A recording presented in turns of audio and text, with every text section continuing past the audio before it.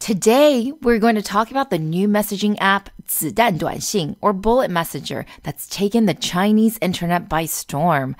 That's why this episode is titled Is WeChat Bulletproof? Get it, Ying Ying? Uh, yes. Rui, you and your love of bad puns. Anyway, the Chinese internet has indeed been obsessing over this new chatting app.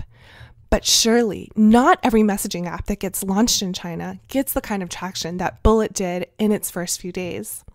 It got 5 million registered users in just 11 days, and it was the ranked the number one free social app on the Chinese App Store. The key word there being was, because after reaching 7 million users a few days ago, it slowed down significantly. Already, it's only the number six app in China's social networking on the App Store. Did you watch the movie Crazy Rich Asians, by the way, Ying Ying? Of course I did. Gotta support diversity and representation, yo. Remember the Tanhua viewing party that those people had? Tanhua, which is sometimes called Queen of the Night in English, is this cactus flower that basically blooms very rarely and only at night and wilts before the dawn. Really high maintenance, right? It's incredibly beautiful, but also incredibly short lived, which is why there's a popular saying in Chinese, 昙花一现, referring to when something as ephemeral as the 昙花. Yeah, boom, and it's gone. A flash in the pan. Some are already referring to Bullet Messenger as exactly that. 昙花一现. Others are a bit more bullish. Who's right? Is it too early to tell? Let's find out on today's Tech Buzz.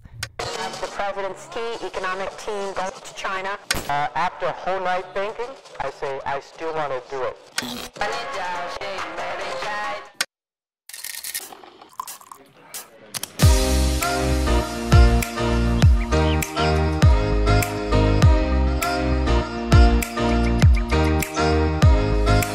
Hi, everyone. We are Tech Buzz China by Pandaily, powered by the Sinica Podcast Network. We are a new weekly podcast focused on giving you a peek into what's buzzing within the tech community in China. We uncover and contextualize unique insights, perspectives, and takeaways on headline tech news that don't always make it into English language coverage.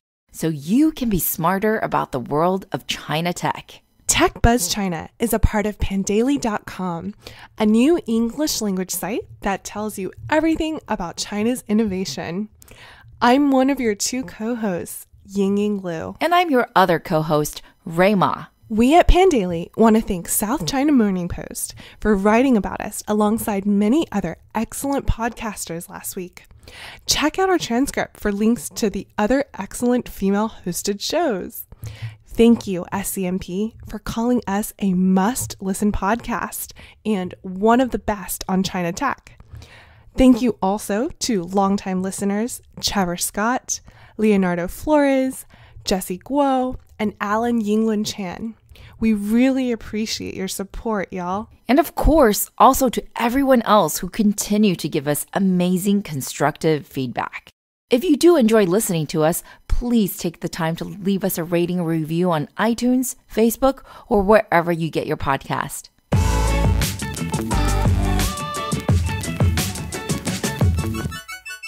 Honestly, Rui, most of the English articles I read on Bullet Messenger completely missed one crucial point the incredible power and reach of its angel investor and best spokesperson, Luo Yonghao. That's where we should really start our story, don't you think?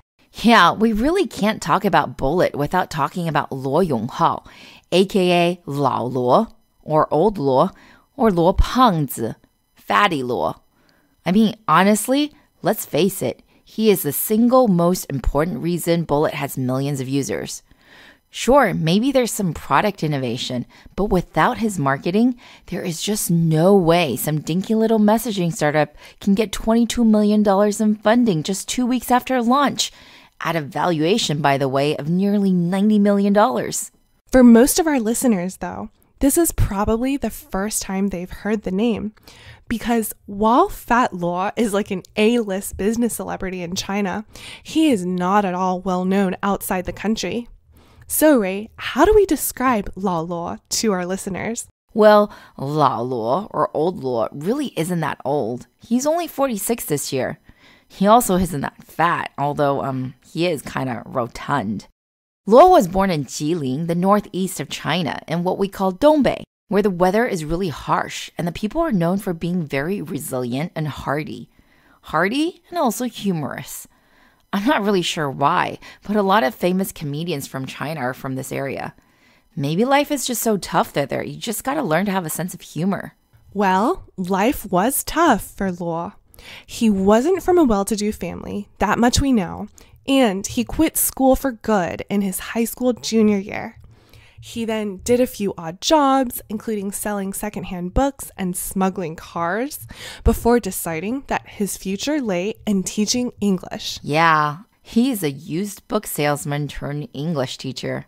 Legend has it that he was rejected twice by New Oriental, China's earliest and largest scale test prep company, before the founder, Yu Minhong, finally hired him as an English teacher for the GRE in 2001. Now, you're probably thinking, great, he was an English teacher, so what? And this is where you would be wrong, because this is actually a very, very important point. The Chinese tech space is filled with English teachers, especially those from Xindongfang, New Oriental. Don't believe me? China's self proclaimed Bitcoin billionaire, Li Xiaolai, CreditEase, one of China's largest fintech companies, founder and CEO Tang Ning. Guess what? Both New Oriental English teachers. And of course, don't forget the granddaddy of all entrepreneurial English teachers, Jack Ma, although he was not ever at New Oriental. You know how in Silicon Valley we have the PayPal mafia? Well, in China we have the New Oriental mafia. No joke. Maybe you have heard of Bob Xu, Xu Xiaoping, and Wang Qiang, founders of ZhenFund, a top early stage VC fund in China. Both were New Oriental co founders. Li Feng, former VC at IDG, founder of Free S Fund, and a top fintech investor, also a former New Oriental executive. One article from 2016 even goes as far as to say that up to 65% of active tech investors were directly or indirectly linked to New Oriental. Now, I don't know if I believe that number. It sounds kind of high, but there's certainly a substantial number of New Oriental alumni in tech and VC. How random is that? I mean, New Oriental, which is listed, by the way, on the NYSE under ticker EDU and is today worth $11 billion, is still at its heart a test prep company. It's like if I told you that Princeton Review produced a bunch of successful tech entrepreneurs and investors, you'd be sitting there scratching your head, right? But if you're Chinese, this wouldn't surprise you very much. There's a few simple reasons why. In China, the best and brightest would usually choose to study abroad, especially in the US and UK. To do that, you have to study for the English standardized exams. So, pretty much, it was a guaranteed thing that the creme de la creme of China would have to take English test prep classes. And for a very long time, New Oriental was the biggest and most dominant player in town. In fact, most Chinese people I know have taken at least one New Oriental class, including our Pandaily founder, Kevin. Secondly, however, was the way New Oriental operated. In China, most teachers have absolute power in the classroom. They are to be absolutely respected, as it is considered a very noble profession. It's very much a hierarchical system. You don't question the teacher, and the teacher could care less about what you think about their teaching.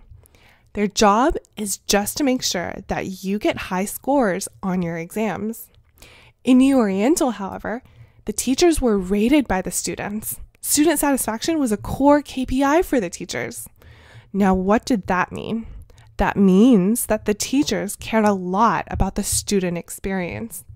New Oriental teachers were thus known not just for being effective, but were also very, very entertaining. And Lao Luo was the most entertaining of them all. Well, at least one of the top, anyway. He was famous for his witticisms and idealistic sayings. Seriously, guys, he was so famous that MP3s of the speeches he made during class were pirated and widely disseminated nationwide. A collection of his sayings, known as Lao Luo Yu Lu or Luo's quotations, made him a cultural phenomenon. He was an icon. And from that time on, back in 2003, he started collecting fans. Millions of them.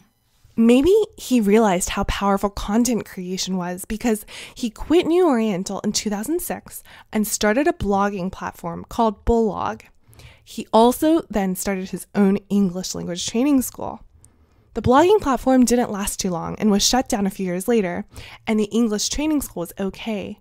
But it was really his speech about his journey as an entrepreneur, titled An Idealist Startup Story, that made, or should we say kept, him super famous.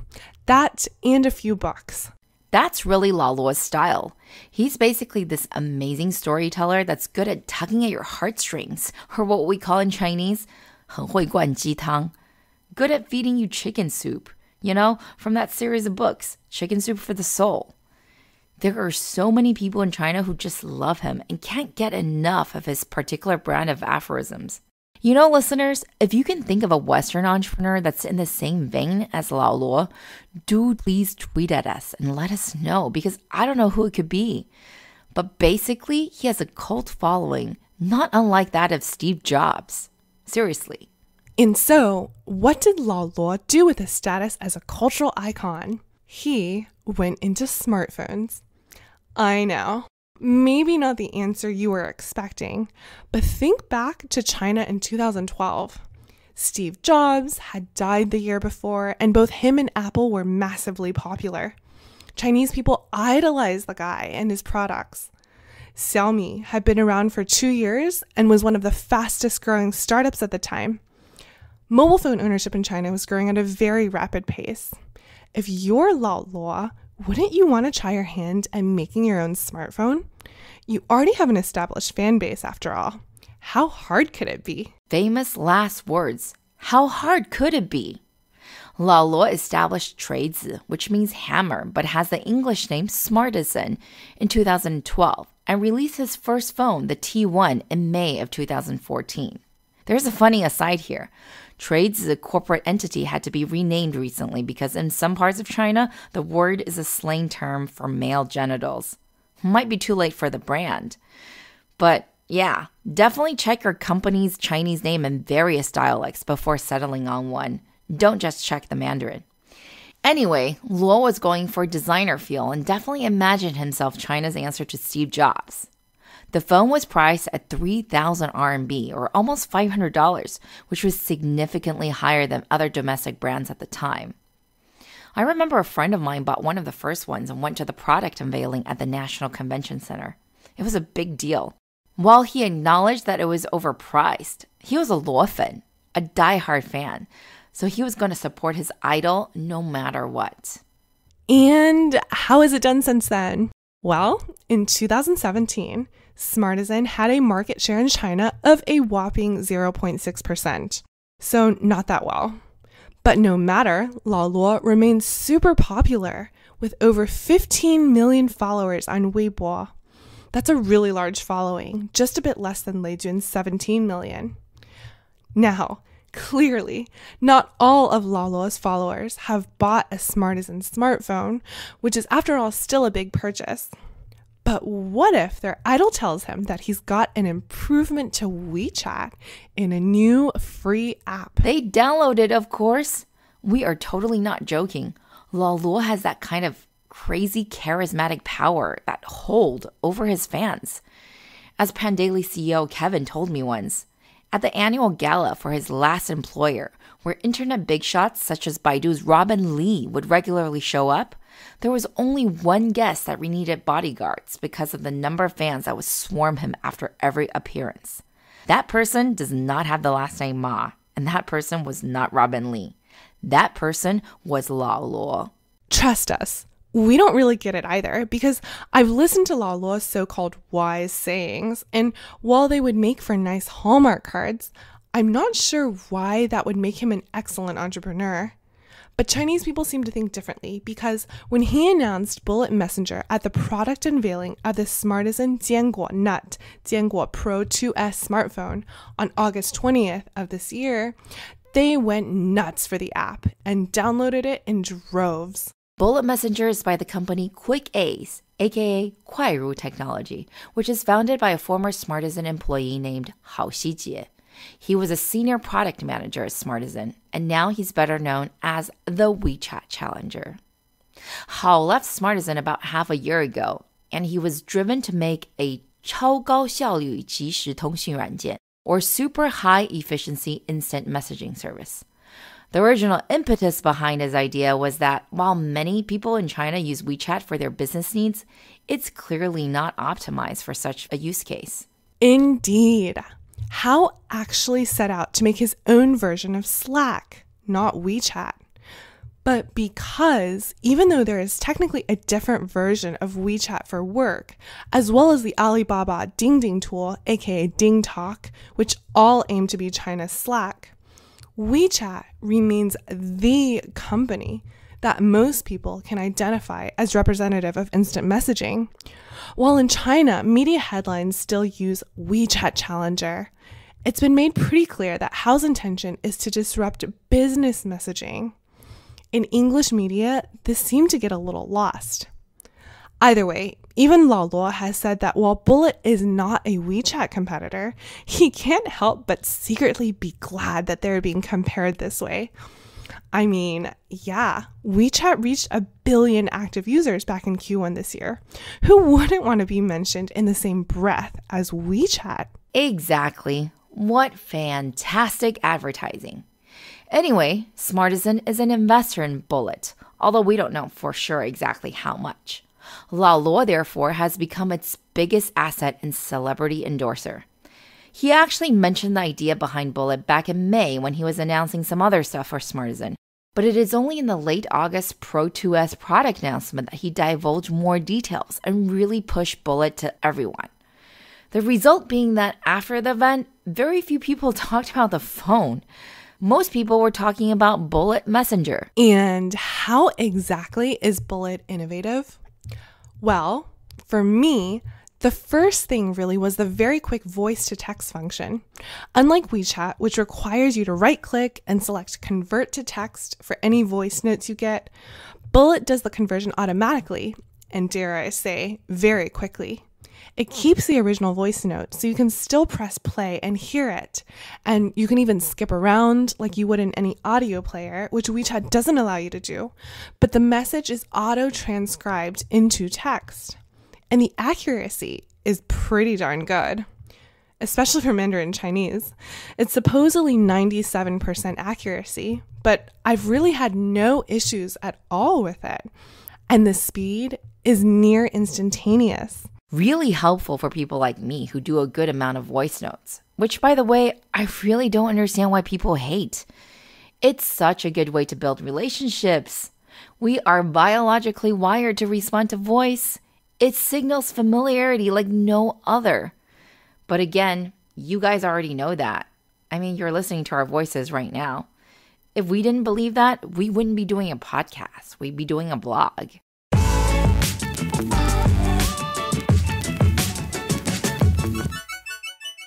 Come hang out with Rui and Ying Ying next Tuesday at an event co hosted by Pandaily and Geek Park right in Silicon Valley. If you want to meet amazing Chinese tech companies such as Toutiao and Finance and Kuai, then come on through to the Fire of Innovation event held at the Computer History Museum on September 18th starting at 5 p.m. Simply search for The Fire of Innovation on Facebook or click on the link in the description box below to get your free admission today.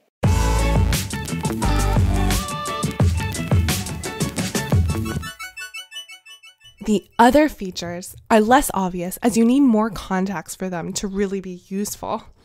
You can reply in threads, which is great for group conversations, or to elaborate on specific to dos, and which WeChat kind of offers in a primitive way in its web version.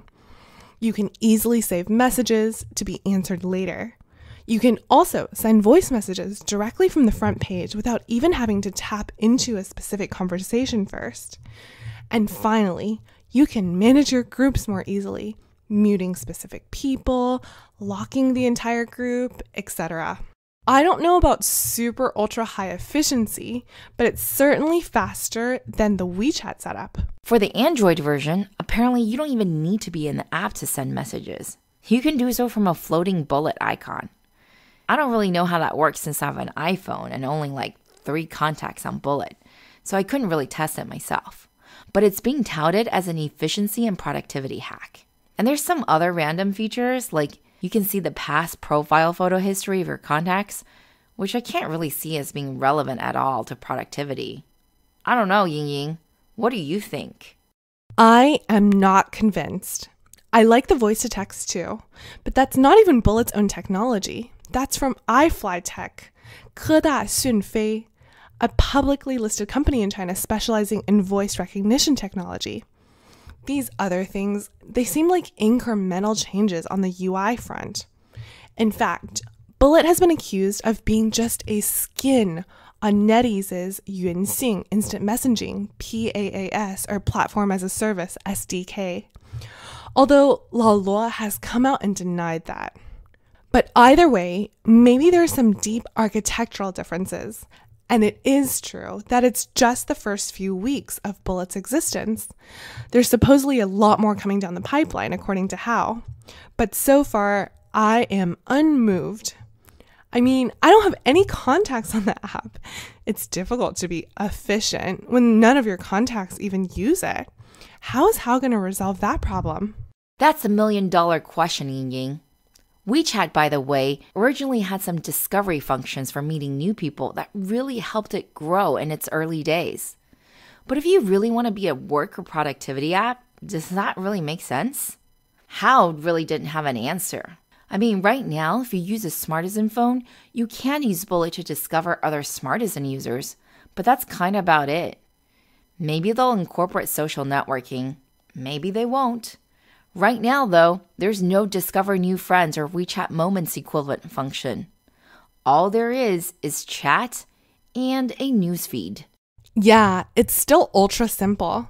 Hao's argument is that for WeChat, with such a large user base, by definition, they just would have to be very slow to launch any new features because there's such a wide range of use cases and user types that they would want to accommodate. Whereas with Bullet, they can try to just appease one segment of users. And of course, starting off as a new app, they can iterate much more quickly since they don't have to appeal to a billion users. And he said that sure, when they're just 10% more efficient than WeChat, maybe users don't switch. But wait until they're 100% more efficient. Then people will change. Spoken like a true engineer. Let us build a superior product, and the users will come. Huh? So that really doesn't sound like a WeChat killer to me. Basically, in every interview, Hao said, We are small, we are nimble, we're trying to find a narrow, specific use case. But again, even being compared to WeChat is such great advertising. And it's true that in China, with WeChat having been so dominant for the past nearly a decade, there are people who are clamoring for an alternative. A minority of people, at least, think that WeChat has too much data on them, for example. Yeah, but Bullet is definitely not the answer if you want to protect your privacy. In fact, they got in trouble for having a terms of service that basically said, um, we might keep your data safe, or we might not. We don't promise anything at all. Even by Chinese standards, it was ridiculous and inspired outrage online. This might explain why some users complained that they were being added by random people and being spammed with pornographic content. Or all of the inappropriate content could be why the user growth was so steep. Either way, that doesn't fit well with Bullet's aspiration to be slack.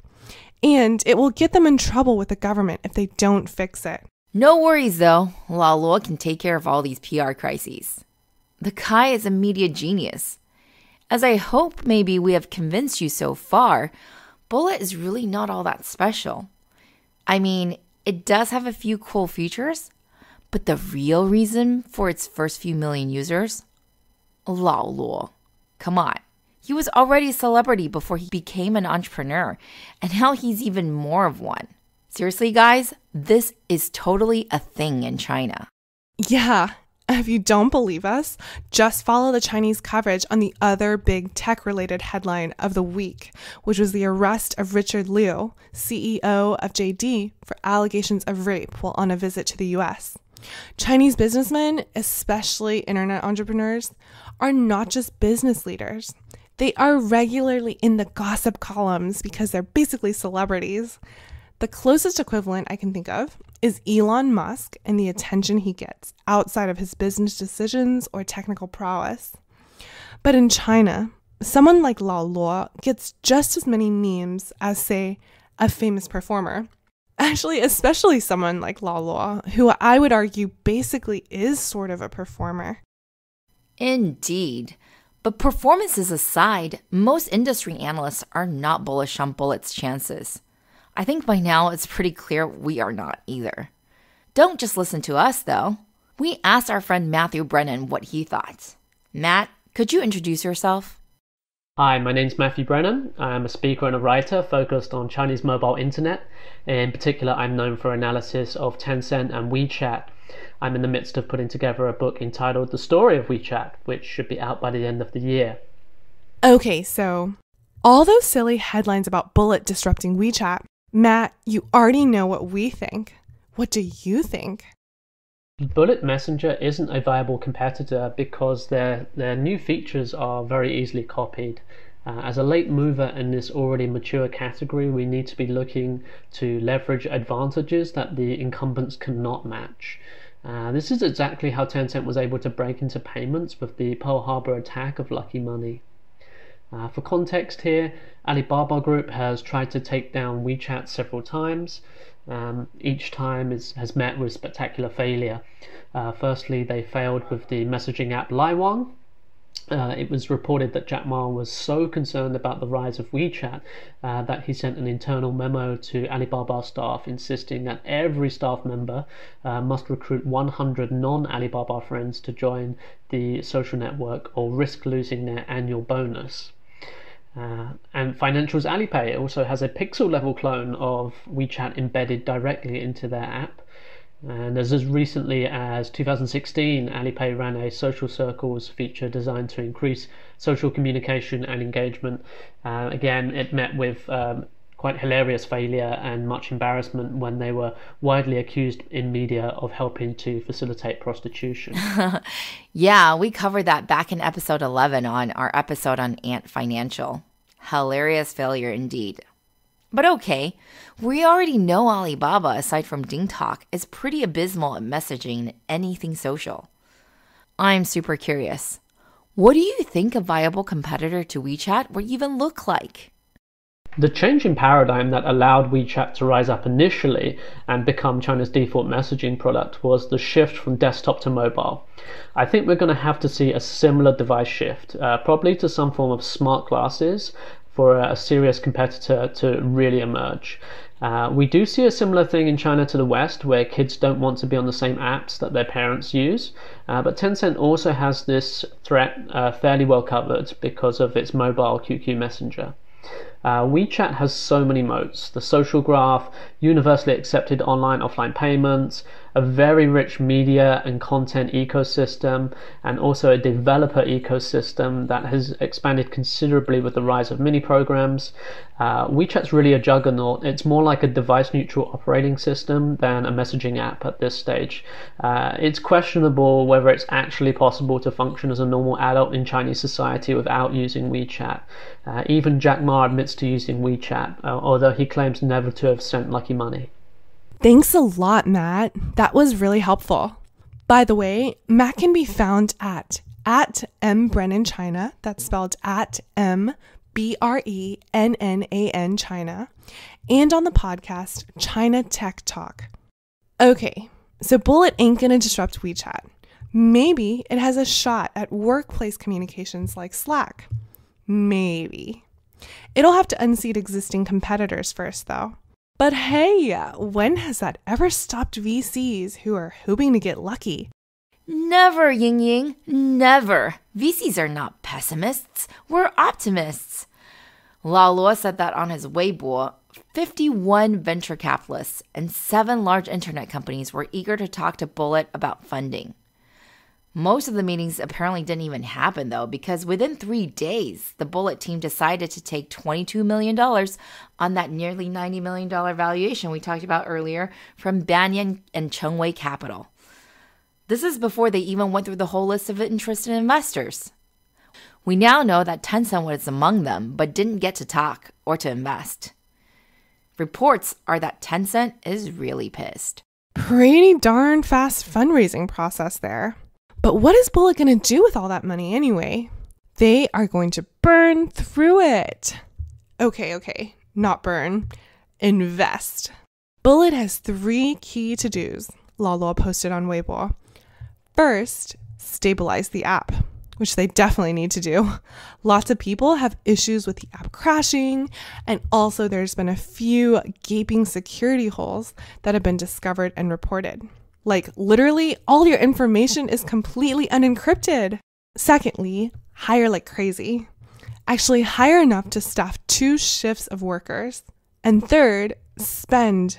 The plan is to spend 1 billion RMB, that's about 150 million USD, over the next six months to acquire 100 million users. Um, okay. That does not sound super practical, especially these days in China when venture capital is starting to dry up.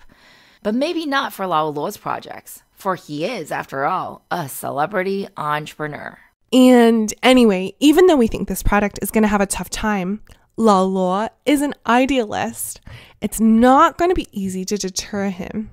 And I think after years of struggling with the Smartisan phone, he's seen how much easier it is to launch software, and it's going to be hard to go back to making phones. Yeah, he's already lamented on his Weibo that it was so darn hard to fundraise for Smartisan in comparison to Bullet. Duh, of course. And after six years, he only has 0.6% market share for Smartisan. At 7 million users, Bullet already has 0.7% of WeChat's billion users. what do you think, guys? Is Bullet a tanhua that's doomed to only bloom for a few days? Or does it have a chance to disrupt WeChat? Or at least take away some of the current use cases of WeChat, the biggest success of Chinese internet in the past decade? Or is WeChat completely and utterly bulletproof? Let us know by tweeting at us at TechBuzzChina.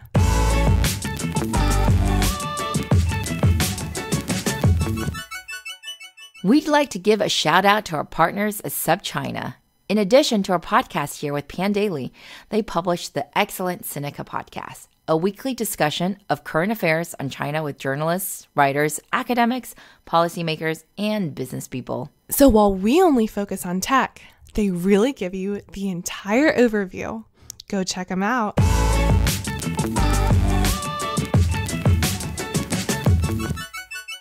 Okay, that's a wrap for this week, folks. Thank you for listening. We really enjoy putting this together, and we're always open to any comments or suggestions. You can find us on Twitter at the Pandaily and at TechBuzzChina. And finally, my personal Twitter account is G I N Y G I N Y. And my Twitter is spelled R U I M A. Special thanks again to our guest Matt, who can be found at M Brennan China. That's M B R E N N A N China. And on the podcast, China Tech Talk. We'll be back here same time next week.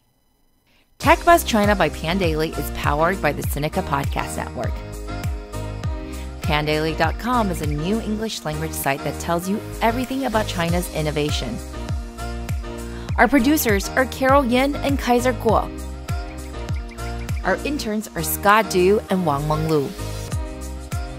Thanks everyone for listening. See you next week.